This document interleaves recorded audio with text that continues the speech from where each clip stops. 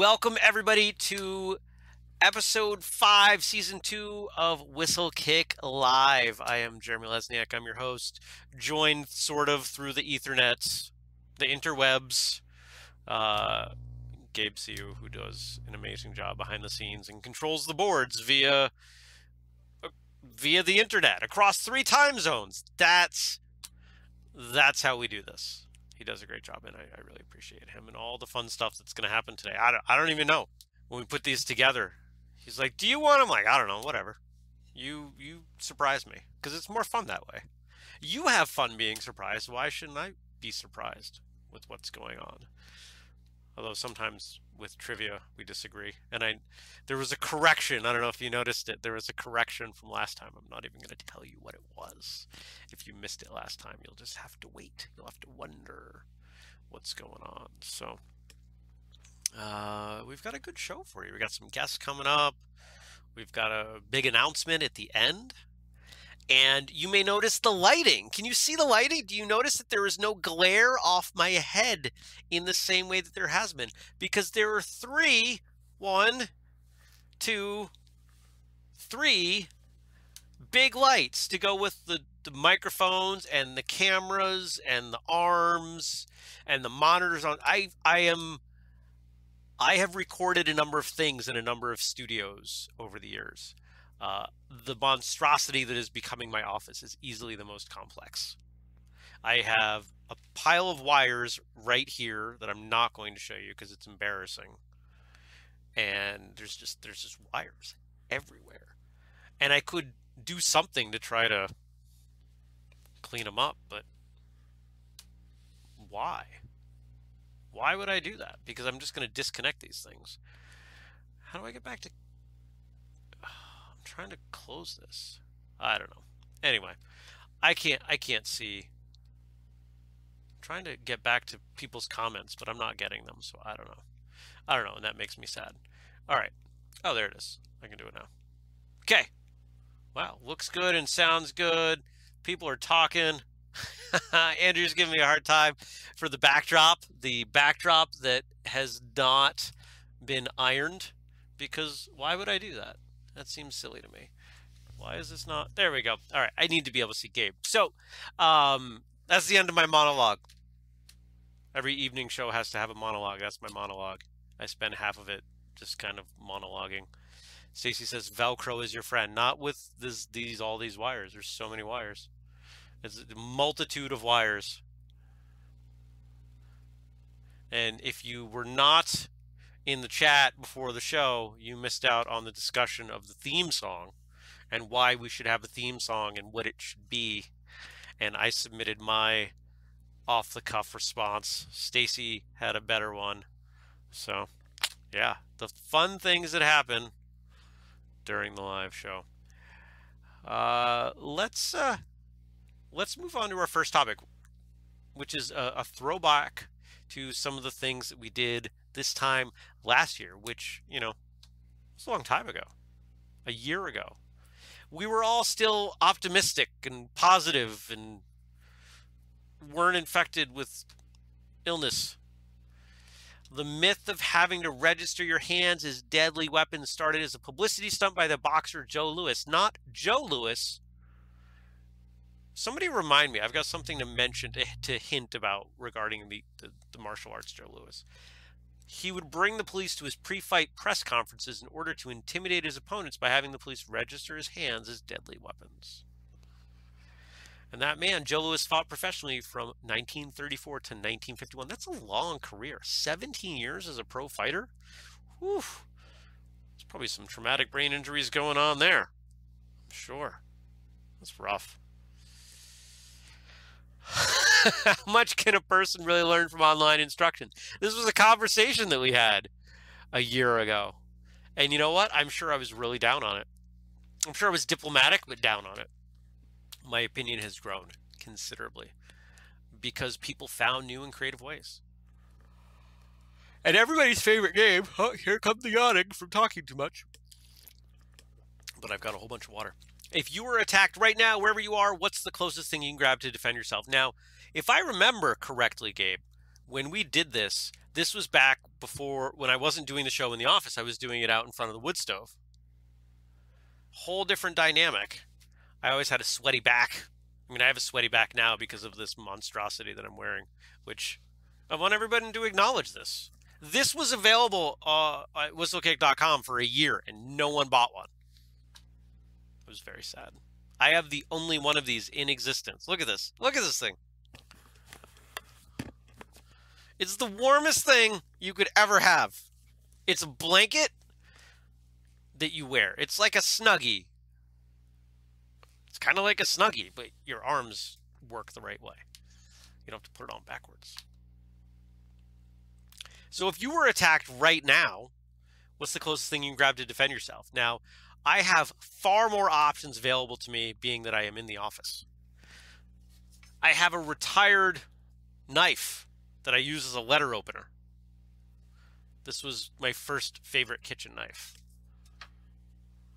There, there's, there's somebody in the Zoom. What time are we doing this? We're not doing this yet, right? No? Okay. I have this incredibly heavy water bottle that even has a handle. Like I, I think I could probably do some. Can you hear that? Oh, here's the mic. I could do some damage to that thing. What else do I have? Um, I mean, I don't know what else I would need. And I've got this uh, whistlekick Grand Championship medal from 2016 that I could. I mean, if I could put it put a rope on it, I could could really, I could do some damage with that. Do some damage with that for sure. In the chat, Andrew says, last year, buy the stove. Your answer was the heavy pot on the stove. That would have worked, and that is a bizarrely good memory, my friend. Stacy says, pens and scissors for my desk cup. Dennis says, AirPods. Matt says, fork and a baby. I really hope those are two separate implements, and it's not like baby on a fork that you would be using. Uh, Matt and I are Matt. Matt's other half, Jenny says Matt and I are eating. Oh, I lost it. We have forks and knives. He would grab the fork. I would grab the baby. All right. Well, it works. It all works. Andrew doesn't think it works. Andrew thinks that Dennis is in trouble with AirPods. I don't know. I, I know I know Dennis well. I bet he could I bet he could do some damage with some AirPods.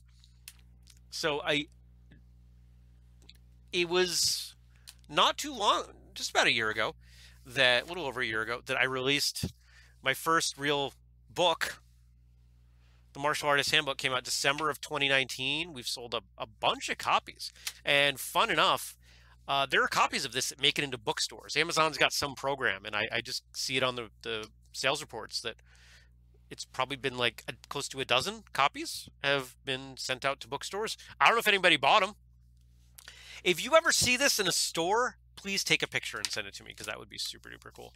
And if you want autographed copies, you can get buy autographed copies at whistlekick.com. I I have a handful on hand at any time. Yeah. Uh, yeah, so speaking of books, I wrote another one. Because why not? Because I don't have enough to do. So I'm like, oh, I'm going to write a novel. I'll have it done in a month. That was a little aggressive. It took me 10, 10, 10 weeks, not 10 days.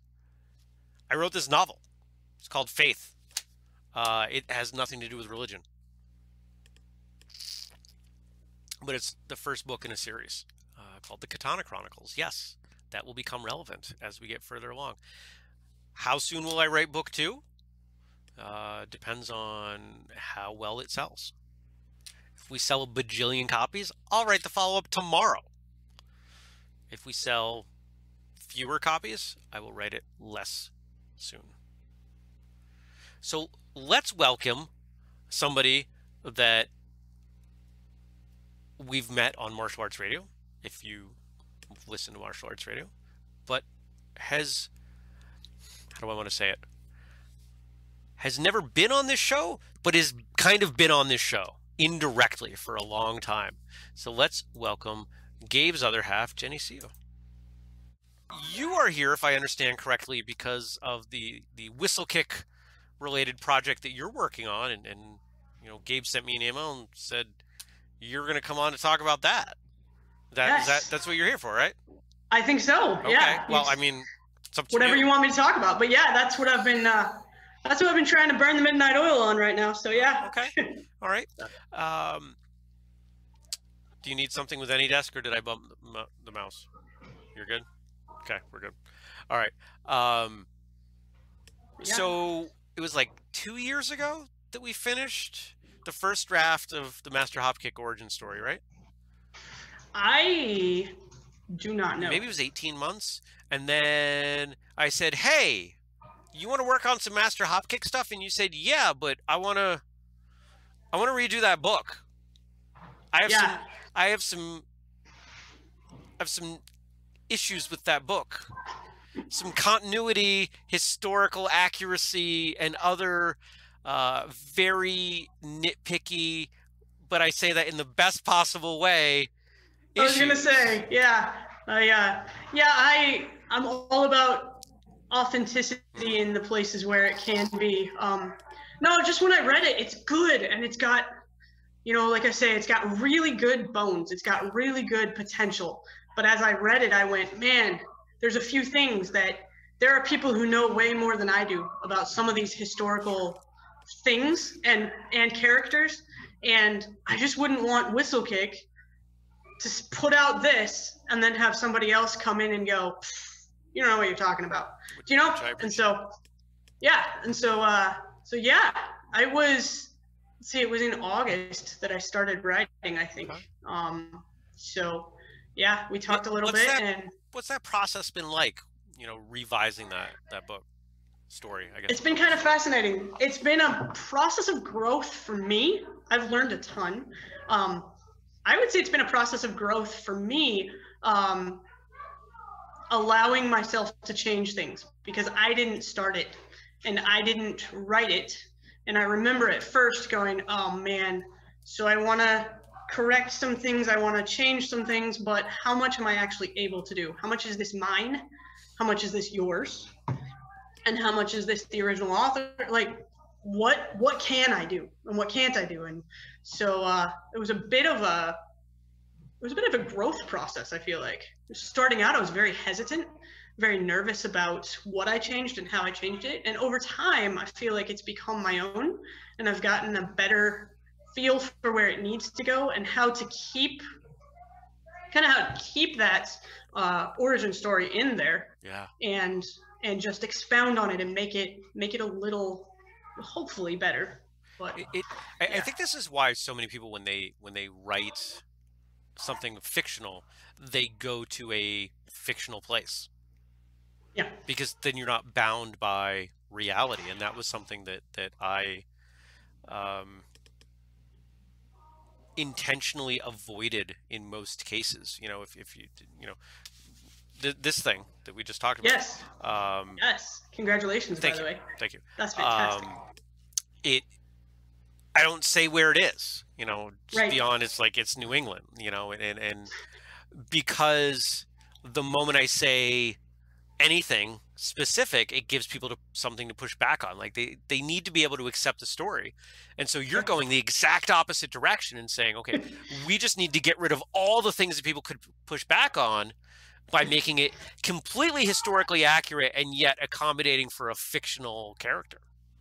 right and that's the balance that's really hard to strike sometimes and that's why i feel like i haven't been able to just bust it out you know i i wish i wish very much i had been able to just get it all written in a couple of months but as i looked deeper trying to figure out okay so we've got this historical fact but we don't want to stick necessarily to that.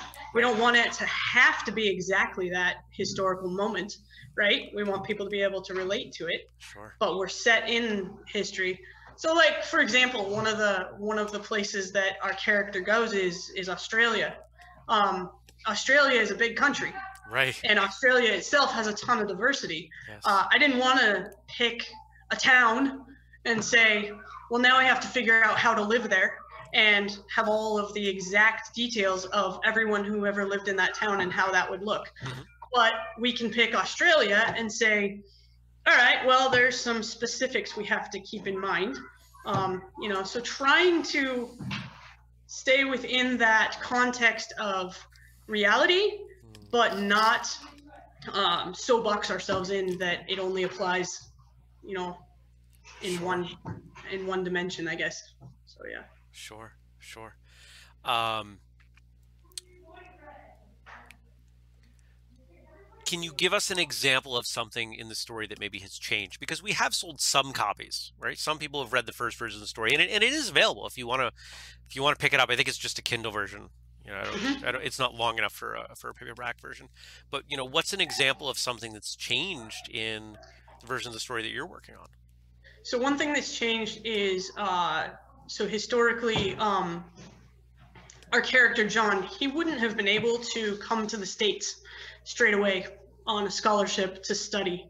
Um, and the original story has him leaving his home in the Solomon Islands to come straight to New York and uh, study high school and college there in New York, and then kind of the story progresses from there. Um, and that was just not possible uh, at the time period that we that it's set in.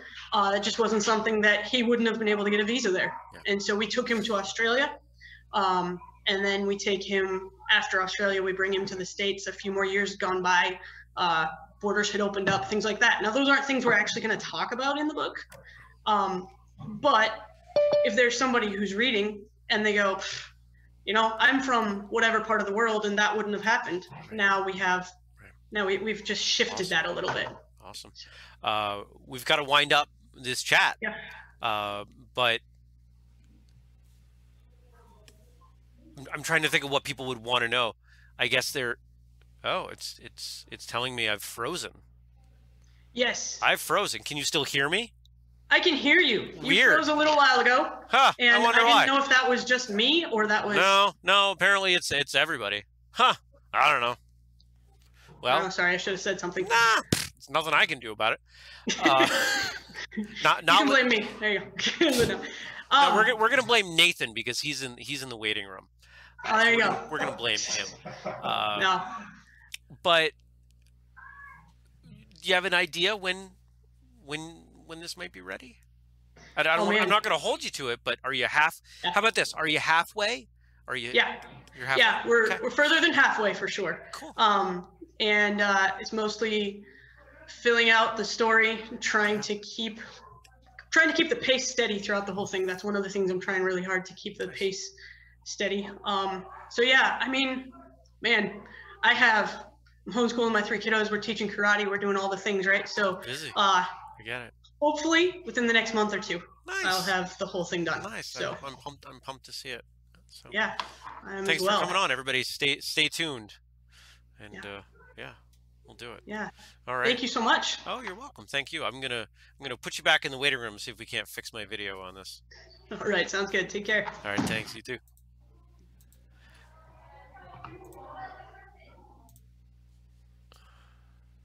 All right, here I'm switching back to this, and uh, see if I can fix this. There we go. It's fixed already. That's how good I am. I just had to turn it off and on again because that's. I mean, is that not the solution to most technology issues? You turn it off and you turn it on again. Um, at least you froze in a decent pose. He was trying to highlight Jenny. Yeah, Laura, he's not eating a microphone. That's a that's a uh, a reference to Julius's selection of last month's still for use as the episode graphic, where the um, let's just say it wasn't the best photo of me ever. Uh, I've I've seen better. I've seen better. Nathan, if you can hear us, uh, we're gonna we're gonna go for a few minutes, then we're gonna bring you on. Matt saying, "Is it plugged in?" Yes, that's the other half of IT. Is it plugged in? And have you tried turning it off and on again? In fact, there's a wonderful show. Uh, I'm not a big fan of British comedy typically, but there's a great show. It's available on Netflix called The IT Crowd, and that is a recurring joke throughout. So. Uh, we've got some topics from Facebook. Let's let's do a couple minutes of these. What do we got? If your instructor had a pull string, what would the phrases be? Oof. Um, depends on the instructor, but I'm thinking of things like, "Come on, you can get those stances lower, or all right, just 10 more, or we'll move on when you get it right. Let's see. I, have got a feeling some of you all had had some responses for this. Richard said, "Let's see if that's true right before we clap and then practice techniques." Andrew says, "Mine would be okay once more." I always tell my students that whenever I say once more, I'm always lying. Jared says, "No, too much muscle." Uh, of course, we should know that Jared is an Aikido practitioner in part. Uh, Marcia says, "Think about it in a different way." Daniel says, "Just relax." Ed says, one, bend your knee. Two, switch sides. Three, one more time. And Kara says, right foot. yes. What top three qualities would you use to describe the quote unquote ideal martial artist? Um, I would say patient. I would say dedicated. And I would say humble. Those would be my three. some top answers from the Martial Arts Fun and Friends group, which you should all check out.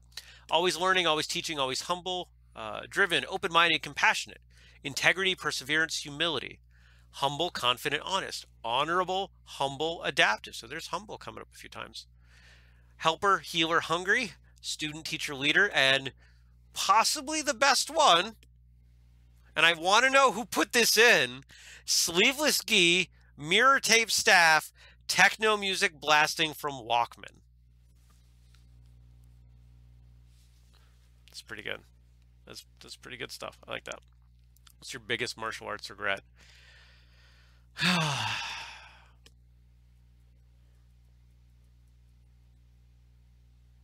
that's a tough one. There's a part of me that wants to to say that you know there was a there was kind of a dark time um, when I was on my own for two years and not formally training and saying that you know I should have broken out of that sooner but I I think I needed that and I think especially now where I'm at I needed that perspective because there things to that come up related to that so my biggest martial arts regret um,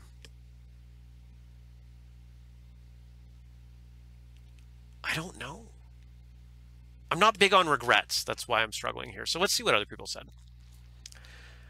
Many people said not starting earlier, and I would absolutely have said that if I hadn't started at four. One person said none. A few said quitting or taking a break. Many said they fooled around too much or didn't take their training seriously. I guess I could put myself in that camp. As a kid, I definitely fooled around. I, you know, I had my moments. I was a kid. I was a kid, I was around other kids. It's going to happen. What's the most random thing you've intentionally broken or offered to break? Oh, man. Uh, doors, wood, printers. There was a pile of broken printers that didn't quite fit in the boxes they needed to go in, and there were a lot of axe kicks taking off paper trays. It's kind of like office space, but uh, without the Geto Boys music in the background.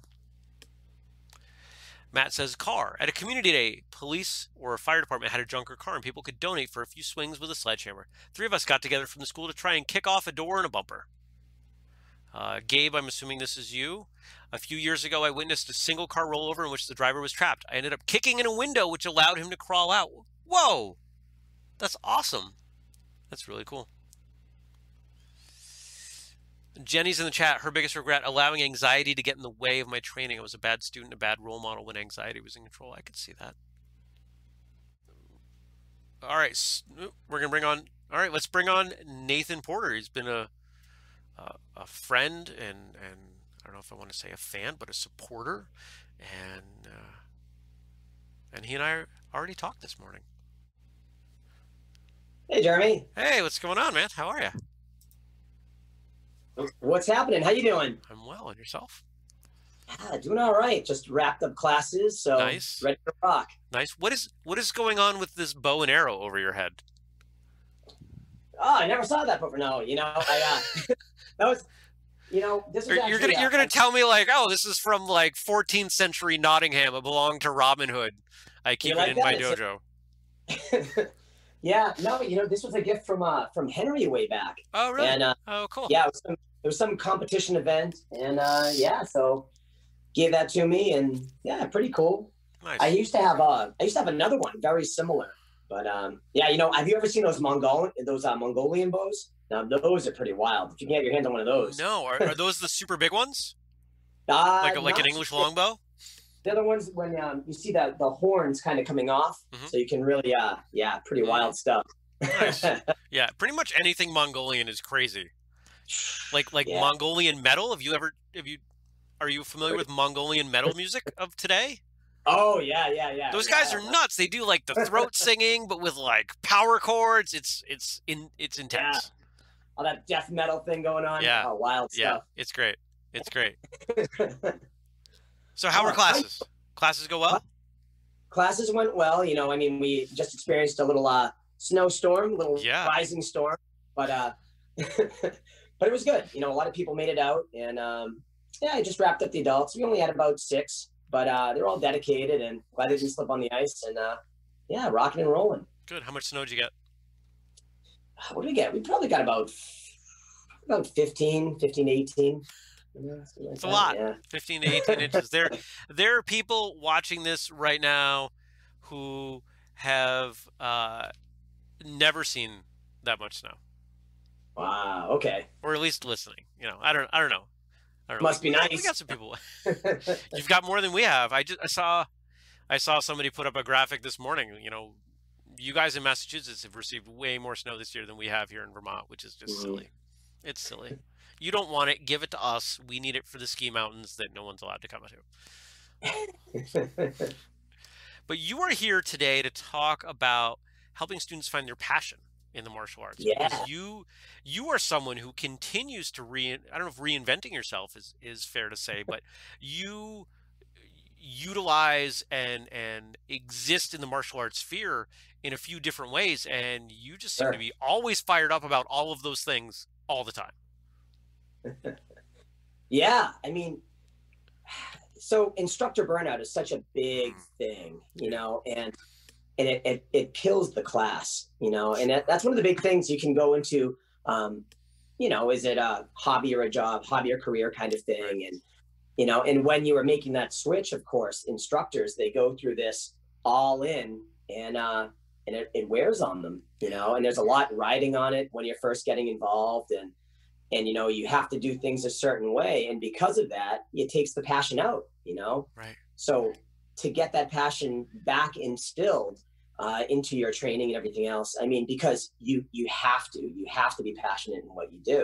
Yeah. Um, I mean, I I teach a lot more youth kids. I mean, I mentioned I had six kids, but I taught, uh, sorry, six adults, but I taught fifty something kids today. You know, and Oh, wow. and that and that's with limited, uh, you know, limited spacing, Yeah. and uh, so you know, but if you're not passionate about what you do and you're around kids, it's gonna pick right up and they're just gonna be they're gone, you know, and, and that's and Or they chew you really up. to do- yeah, yeah, you know, and you can fake it till you make it, you know, and and you grow into that. But you know what really helps me, and and this is probably uh, how I keep reinventing, you know, my own training uh, methods is is exactly that. I in my style, you know, so everyone has this this style, this system that they're learning, but you yourself need a personal method Mm. right for said style. And a lot of times that's going to that's going to put something into your art that's yours right? And that's that's just for you. And in martial arts we know it's all about giving back and we're constantly teaching and teaching and teaching. But when you when you take a moment to self-reflect on a method for yourself based on your style oh wow that kind of gives another spark and that can lead to other thoughts and Give, me- give me and- give me some examples of that method. all right. Well, you know, you get that um when you get that kind of palm to forehead moment of, oh, of course, that's what they meant. Uh, everybody describes everything slightly different. So if you're, let's say, a taekwondo practitioner, right, and you're you're comfortable in Korean systems, right, and you're okay, you can kind of branch out a little bit, but then let's say you you pick up, um, let's say, a Muay Thai, you know, um, and all of a sudden it's like, okay, you know, it's I have a I'm a martial artist. I can relate to this. Mhm. But the way that they describe their kicking methods is very different, you know, and for different reasons. I mean, in the sport area of of the of the arts, yeah, there's different rules associated. But all of a sudden, you are taking the same kick, and it is now put into a different way for you to learn it Sure. and that that gives you a different method for implementing your technique. So now if you're teaching say a roundhouse kick right? All right i'm going to use my instep i'm going to use my ball i'm going to use my shin i'm going to do uh, i'm going to use my my knee with the with the whole leg behind it. I'm going to utilize my hip for the motion. Yeah. um, you have all these different ways of now teaching said roundhouse kick. So how much more interesting did that roundhouse kick become? And you know all of a sudden that sparks into everything else. But you have to give that passion forward too. You know if kids if kids always see or even adults and they see that oh wow it's if they see that okay it's a roundhouse kick and and you're not putting that forward or if you're teaching little ones hey this is cool because they're gonna oh this is a cool you know they just they just kind of go along with it. Now the, the other thing too is this uh, let's say you're teaching kids right? And you're looking for passion. I'm feeling good because i'm looking up all these different arts and now i'm going to put it in and you know i'm going to do a i'm going to do a hook punch out of uh, filipino systems you know old dirty boxing sets instead of the classic hook. That's just going to be my method. That's what i'm going to be working on right? And um but there's a lesson there right? And there's something that i can put into my system and my style. It's you know it is what it is. But if i'm teaching kiddos stories will help with the passion. If let's say my style is discipline right and i can't put that passion out there it just doesn't go with my teaching method of what i'm doing. It's not disciplined if it shows you know there's just a different teaching style right? Um, i don't want to put that forward in my method of whatever i'm doing. So what you do is you, can but you have to have that pa- you have to be passionate about what you do so you transfer the passion right? So you do it in the form of a story that has some passion to it. So that takes it off of the discipline aspect of the instructor and rolls it into something to grow the passion of the student. Or you know hierarchy is an interesting thing in the arts. You can always talk about your instructor that you're passionate about. If i'm no longer kicking and i've and i've had instruction from bill superfoot wallace right everybody i think everybody has stories about um, superfoot and Yeah. how how passionate is he about his striking and is he it loves what he does still. so so instantly just by sharing that wow that's going to roll into everybody else and it takes it off of me so i can still be me and instill something else in the other students Yeah. You know so that that really helps out too. Um passion's a fire you know it, it's contagious. And i've i've noticed there there are certain schools that i've attended and everybody's just kind of they're all you know the instructors going through the motions the students going through the motions and sometimes it just takes a little bit of a spark. Mhm. and because it's contagious now everybody's elevated elevated. Nobody's going to let it go they're all Yeah. fired up they're doing the same stuff but they're all showing up finally you know they're there they're ready so Yeah, yeah, and you know, and it, it's all about that instructor too, because That's- some of them will be like, well, you know, how can you, you know, this is a serious self-defense situation. yeah You shouldn't be smiling. You got to take this serious. You know, there's that whole side of things too in, in martial arts and fighting. You know, I mean, all right, if you're training for, uh, you know, a fight, or all right, you're doing some serious uh, aggression tactics right. and you're putting in these you know the tone has to shift. So how can we be laughy and smiley and happy when we're trying to get our head into something as close to self-defense as we can? And um and that's that's a really that's a really tricky approach. Passion And doesn't have to be fun. Mm, yeah. You know that there if you're i think if you're really passionate about something there's going to be an enjoyment of it but it doesn't necessarily Right. mean it has to be fun smiley giggly cracking jokes right like. Yeah. you, you and I, you and I we could we could spar and we could have a Mm-hmm. heck of a lot of fun and it, it could be playful and joking and you know closer to a game of tag but we could also go much much harder. You know, even even removing context uh, contact from the equation, we could make Mm. it a much more intense sparring match, and still really enjoy it. But we're far more. I shouldn't say more, but we're we're engaged differently. Yeah, yeah.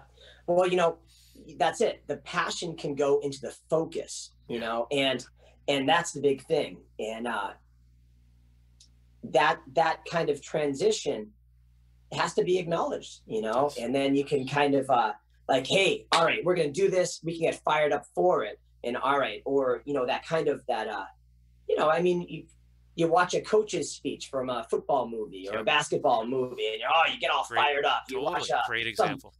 some epic movie, you know, and oh, here we go. You know, there's the passion for the focus of the activity, you know. And Yeah, that's what that's- it's a good place for us to end. We got we got to move on to other segments. That's, Oh, that's, we, I, I know we could you and I could talk about this for for an hour or two at least. I have Oh. no doubt. But I appreciate you coming on, and uh, Jeremy, it's always great to see you, man. you too, man. Yeah, We'll t- we'll talk again soon, bud. definitely. Looking forward to it. Thank you so much. Thank uh, you. Take care, everyone, All and right, uh, have a good one. Cheers. be well. Always good to talk to Nathan. Such a good guy.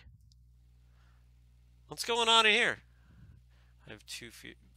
There's there's insanity going on in the chat. I'm just I'm not even I'm not even gonna read back. I can already tell it's just nuts. All right, so this might be my favorite segment, or at least one of uh, story time with Matt. So first off, this photo is amazing. So there's Matt, there's Jenny. Uh, that's the other Jenny. We have two Jennies at Whistlekick, and and this is other Jenny, Jenny and Matt versus Jenny and Gabe. Uh, they both end the spelling of their name with an I, which I object to, because that's the non-traditional spelling, and and the least they could do is have different spellings of their name, but they didn't. So. Um, that's all sarcastic because I think the world of both of them. But we've got five stories today, so let's let's move on. I'm going to read these to you. These are great. So this came in from Gabe. In our school, we have a family with five girls who all start at the same time. Occasionally, I mix up their names, and one day joked that I would just call them number one, two, three, four, and five. So one day they came to class wearing name tags with number one, two, three, four, and five on them. I never lived that down. It's a great story. Also from Gabe. At a tournament, I broke my hand in a sparring match, but I won my division. The, the, the only other guy in my grand champion division was a good friend of mine who had re injured his knee, so we both decided to bow out rather than risk further injury. When we explained our situation to the registration table, one of the judges overheard us and took matters into his own hands and had us play rock, paper, scissors for it. He grabbed two other judges and we proceeded with the match. I ended up winning, and now I have a grand champion trophy for winning rock, paper, scissors. Nice. This one's from Andrew. At 16 years old, I was a green belt, and at my first tournament, I ended up placing second in my kata division, which I was totally psyched about. I was so happy to get a trophy. However, I spent the entire rest of the tournament trying to track down any girl who also placed second in any division. Why? I didn't want my trophy to have a girl on the top. It's dumb, but I did find someone. I have at least one trophy at home that I ended up with a girl trophy. It's okay. It's okay, Andrew. You can have a girl trophy. Girls have boy trophies at most tournaments, to be honest. Is this a picture that Yeah, this would this would be it. That's Are we sure that's a girl? uh, Oh no, that would be the one you swapped for. So that that's the that's that is the male trophy topper. Submitted by Garrett. I was at a tournament about 12 years ago where I had the privilege of judging adult creative weapons forms. I despised this and didn't think anyone hated this more than me. Then I met this girl that did, and she was cracking the same jokes I was. There was a guy that did maracas in a forum. Seriously, took maracas and did a traditional form while shaking these things. Maybe he lost a bet or something. Anyway, she busted up laughing halfway through, as did I, and that was it. Best friends ever since. I married her about eight years later. We're still together and laugh about it. You know, the, what because I, I read through these just um, a couple days ago just to make sure they didn't need any adjustment uh, for length or whatever. And at the beginning of this one, I was a little sad, like, oh, you know, like, why is somebody doing a maracas for him? But then, you know, th- the fact that it brought two people together and they got married, like, that's pretty adorable. Can't get mad at that. And our last one, this one's from Matt. At a tournament many years ago, I was a second Dan and tied for first place in weapons with a fourth Dan. Oh, excuse me. We both performed again and they still couldn't decide a winner. They decided to give it to the fourth Dan because he was senior in rank. That's crap. When they said it loud enough that we heard it, he, the fourth Dan, turned and told the judges that they were wrong and that wasn't a reason someone should win. Good. So he gave me first place. Yes, every one of those judges needs to be slapped. That's ugh. I know that's not supposed to be the takeaway from that story, but um, yeah. Tennis is in the chat saying he does an amazing AirPods kata. I bet you do, my friend. Uh, what we got now? What's next? Random thoughts and stories from my life as they relate to the martial arts. Okay. This could go anywhere. So this happened a few days ago. Are these all from you, Gabe? Okay, these are from Gabe. I was talking to a friend about different styles of karate. Mentioned Kyokushin karate. He said, kill your shin. What's that? A better mistake could not have been made. It's absolutely true. That's That's brilliant. For my day job, I work for a freight company. One day, while moving trailers around using what we call a yard goat, I saw this label. Safety instructions, emergency exit, kick out windshield. I'm not saying I'm wishing for an emergency, but if there ever is one, I'm just saying my training perfectly suits me for the situation. That's all. A yard goat. That looks like a fun. How fast do those things go? Probably not fast enough to go on the road. Four. 40? 40. Okay.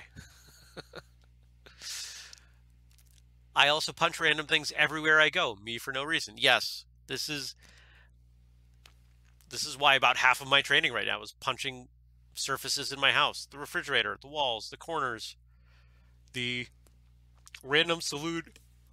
Oh, I need more oxygen.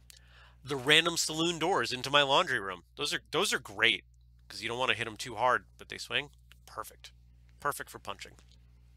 We recently got a new batch of students, new batch of new students, and this is the face I often make watching them be better than me. it's a meme of a cat. The face you make when a white belt does a technique better than you on their first day. It's a very uh, judgmental cat. All cats are judgmental, but especially this one. I like it. All right, rapid fire trivia. Hold on, I gotta get ready. This is next time. I'm not bringing like a jug of water. This just feels ridiculous.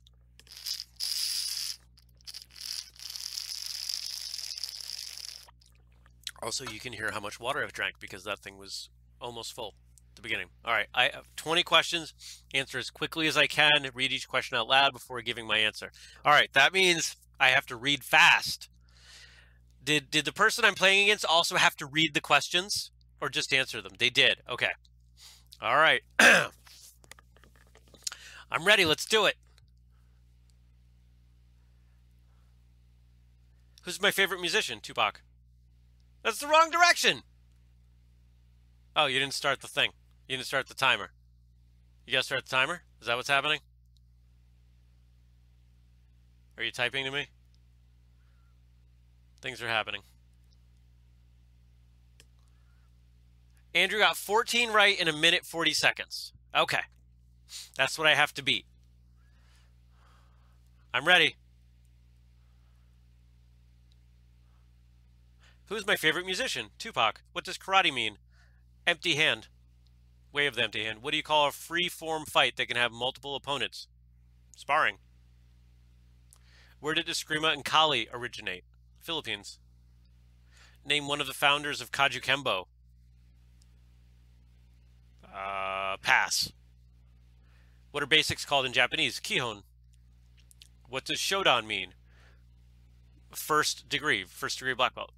What nickname is Bill Wallace known by? Superfoot. Where was the American Taekwondo Association founded? I'm going to say Washington, D.C. What does Taekwondo mean? Uh, foot fist way. How many underbelt colors does BJJ have? Uh, white, blue, purple, brown. That's four. Name a style with no strikes. Yellow bamboo. What is osotogari? Uh, is that hip throw in judo? What is the Japanese art of weapons? Kobudo.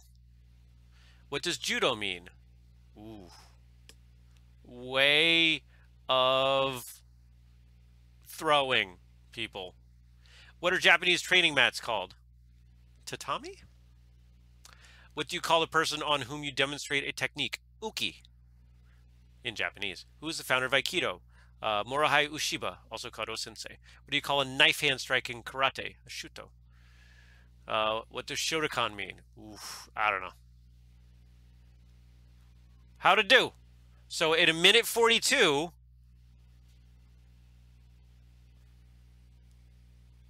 all right. Um, so I got number one. My favorite musician is Tupac. I'm glad I got that one right. Karate means empty hand. Yeah, I got that. What do you call freeform? Oh, randori? Yeah. That's how is that different from sparring though? Sparring can have multiple people. I'm giving myself that one. Three.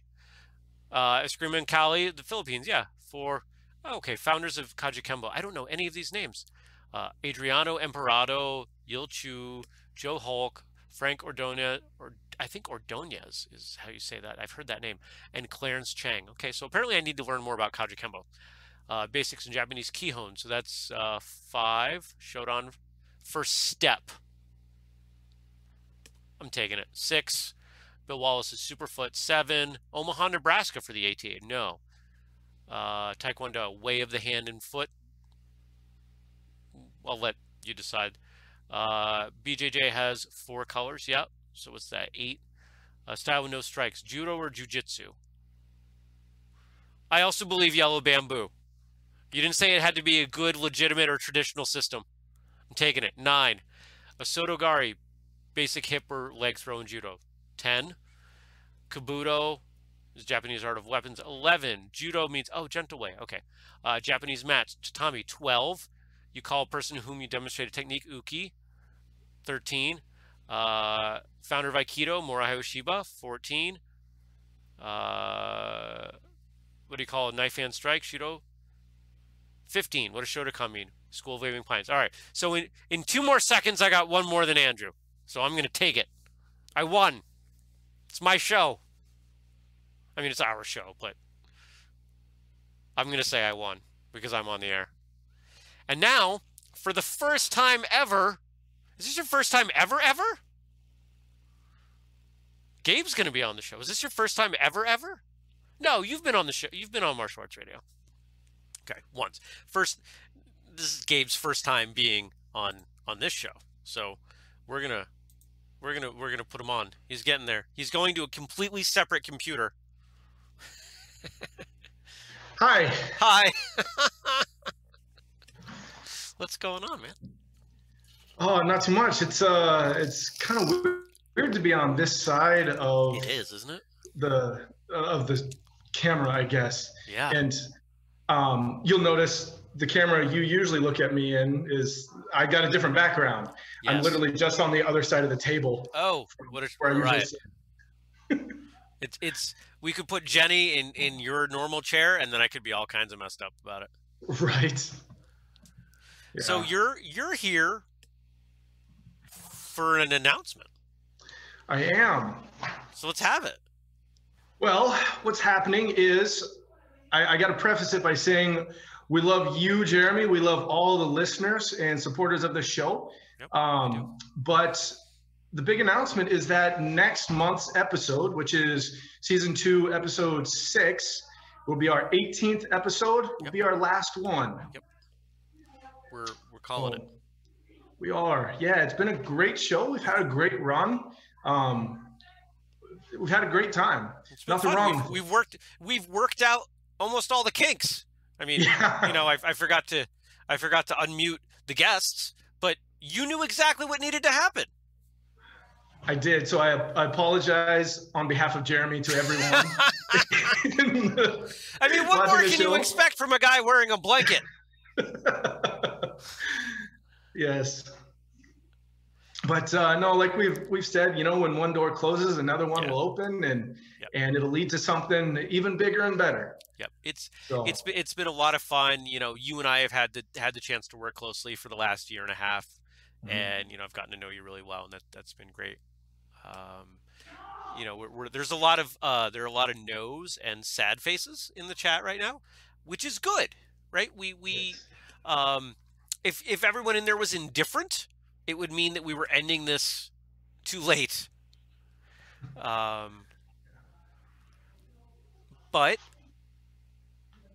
it's time for us to, to try something else, right? You know, I, I I think it's fair to say that while we enjoy doing this, um, we've taken as far as we can. yeah, You know, when we when we have our debriefs, when we talk about what to do next time, you know, we we've dialed it in pretty well, and you know the the technical gear that we've we've brought in and the and the setup. If, if any of you who don't remember the early episodes, go back to those Oh, early man. episodes, compare them. They were disaster. they were. And I, I as as we were reflecting back on a year ago today, I remember back to that first episode.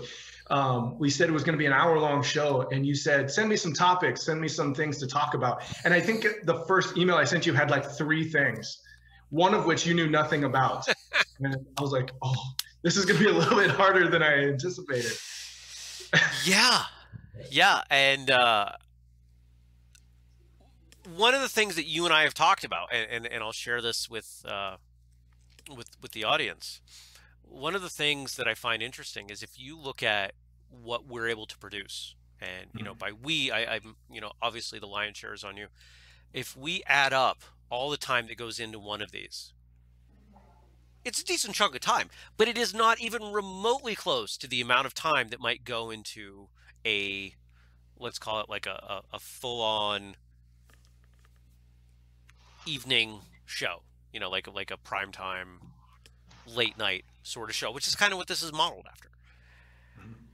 And the standard that we've brought it to with, you know, geographic constraints, you are three time zones away. You are 3,000 miles away from me right now. We've mm-hmm. got that. We've got a budget of zero dollars. And we've managed to put together a show that is is fun to do, and it's fun for people watching. And uh, we're being boycotted, and there are now angry faces in the chat. And you know what? I'm glad, in a sense, that um, that you guys feel this way. And it doesn't mean that it doesn't mean anything. It just means that it's time. It's time for us to, to, to try some other things, you know? Um, is and i see it a little bit having listened to a lot of your podcast episodes I, i've I've listened to you grow as an interviewer um, i started at episode one and listened continuously up through over 400 Wow. and my i changed jobs in there and so i haven't been able to keep up as much as i'd like but just to listen to you grow as an interviewer i see this a little bit like that where it's it's not bad sometimes in order to grow you have to let go of certain things absolutely. and we as martial arts we all know that um, and so it's it is a bummer Yeah.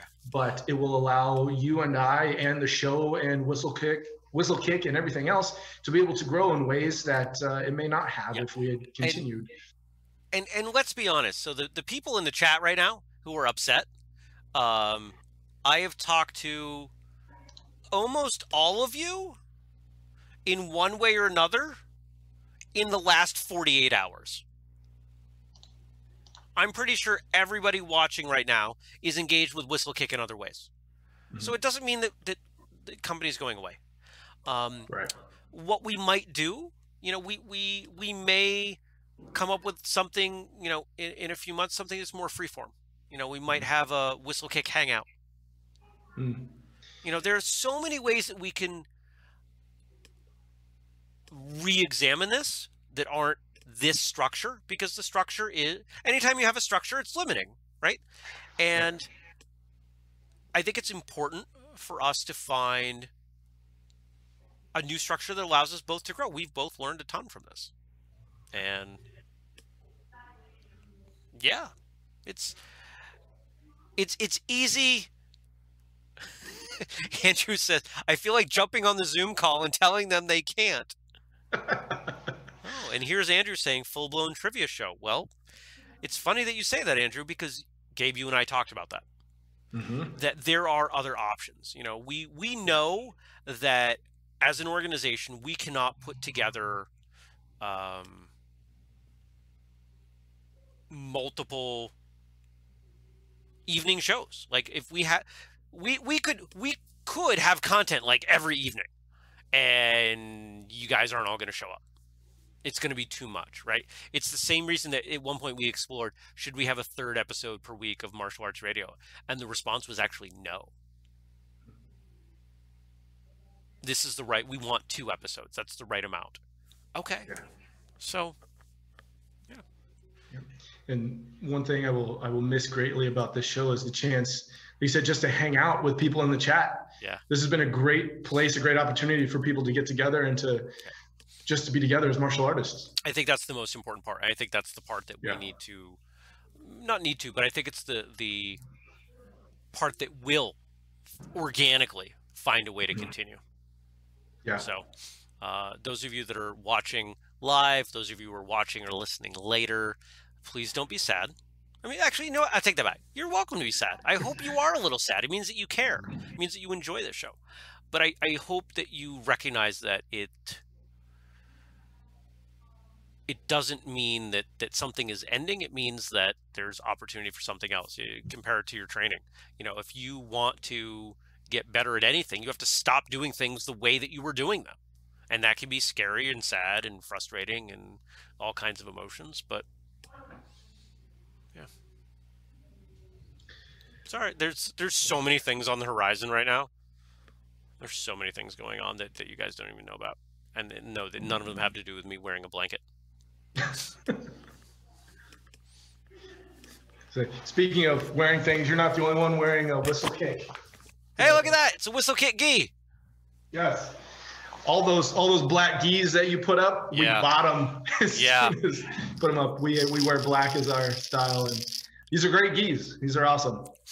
Yeah, we So- did we did pretty well on the black ones. Like we, we gotta we gotta do a new batch. Um, Yeah. Uh, but the minimums on on those are a little a little rough. I've got the still got the other uniforms, the other new uniforms in the other room that I still have to deal with. So, um, should we should we kick you back over and and go on to our last segment and then end this shindig? Um.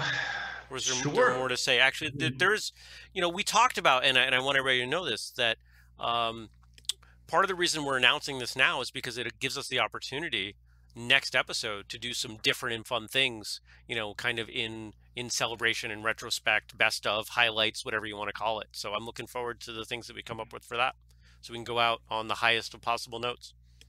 Yeah. So you can. Uh, we're not. We're live, so I can't really hide what I want to communicate with you here. But uh, um, I can go back to the other side, and we can finish off with something else. Um, Or you can. Yeah, uh, I don't want to end on this.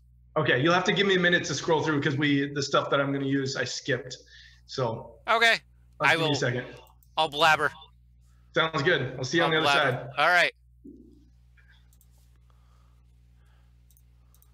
All right. So yeah, don't don't be too sad. I'm not going to have an excuse for being late to work on the first Tuesday every month now. That's funny. Uh, you can. You can just I don't know, watch reruns.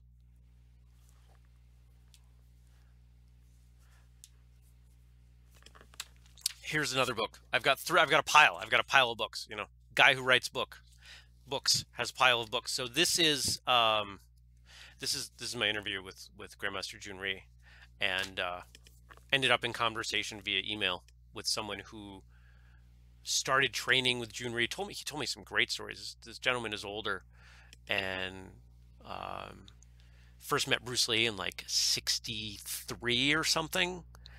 Bought a book from him that I think it was it was like one of those like tiny self-published sort of things, uh, and he really liked Jhoon Rhee and thanked me for the for the interview, and um, so I'm gonna I'm gonna autograph that one and send it to him.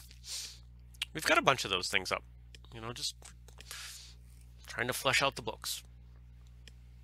Books, books, books. Let's do some books. Uh, Gabe's got a couple more topics from Facebook, uh, or let's do those. Let's save uh, pet peeves monologue for next time.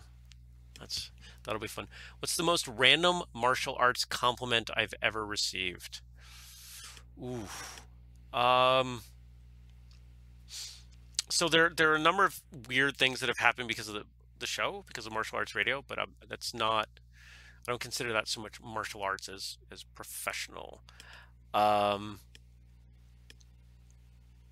most random martial arts compliment I've ever made, I've ever received.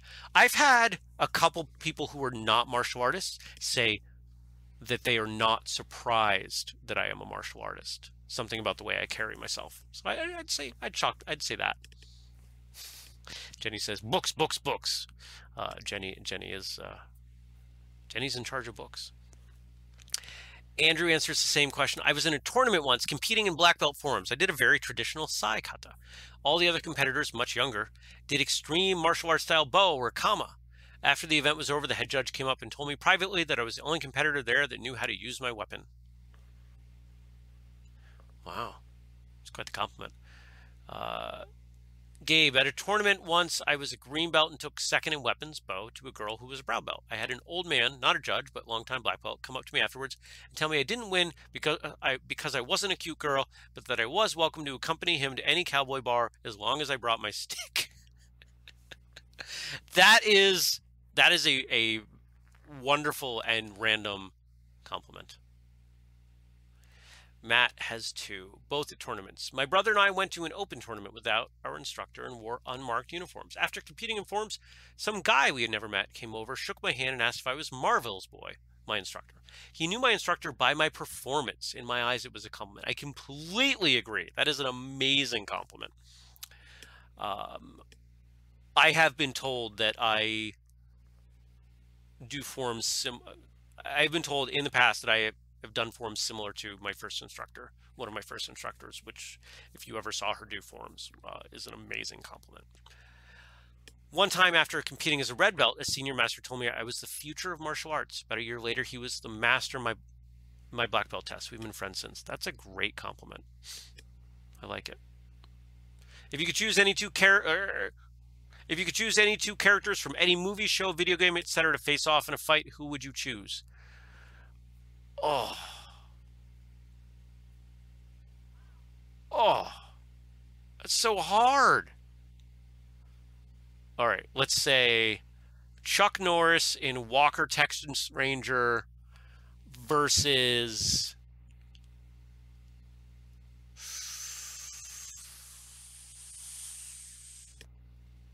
Daredevil.